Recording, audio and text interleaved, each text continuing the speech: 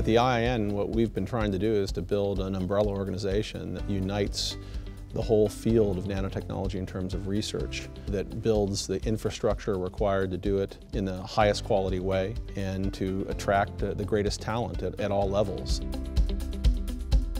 And you know, and the Lurie Cancer Center is an NCI designated comprehensive cancer center. And our partnership with uh, IIN is, is particularly important. You know, as a cancer center, we have to have excellence in basic science, in clinical research, developing new trials, and also in population sciences, efforts for prevention and epidemiology and so on. And our interaction with IIN is critical across the spectrum of all these efforts.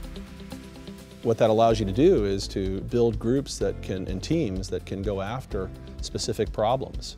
Uh, in the area of cancer research, of course, we can pair up with clinical folks and begin to build the team that can make the material, the nanostructure uh, that is perfect for a given type of trial. And it's this, I think, beautiful combination of talents that makes that possible through both the IIN and, of course, your operation down in Chicago.